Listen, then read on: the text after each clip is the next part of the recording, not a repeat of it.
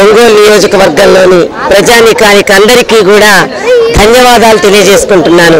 ఎందుకంటే ఎన్డీఏ కూటమి తరఫున నిలబడ్డటువంటి శ్రీ దామచర్ల జనార్దన్ రావు గారిని అత్యధిక మెజారిటీతో కని విని ఎరగని రీతిలో ఇంతవరకు రికార్డు బ్రేక్ చేసి మన ఒంగోలు గడ్డని తన అడ్డాగా మార్చుకున్నటువంటి శ్రీ దామచర్ల జనార్దన్ గారిని అత్యధిక మెజార్టీతో గెలిపించినందుకు ప్రతి ఒక్కరికి పేరు పేరున ధన్యవాదాలు తెలియజేసుకుంటూ ఉన్నా.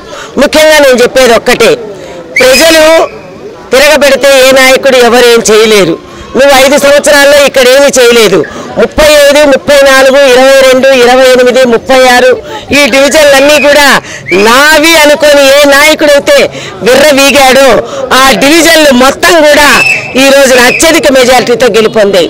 ఒక్కటి నువ్వు చేసింది ఏమీ లేదు.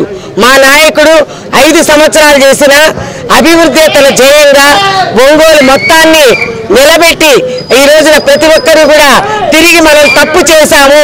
తప్పు చేశామని తెలుసుకొని మళ్ళా ఓట్లేసుకొని మా నాయకులు తిరిగి తెచ్చుకున్నారు. అది జనార్దన్ గారి గొప్పతనం.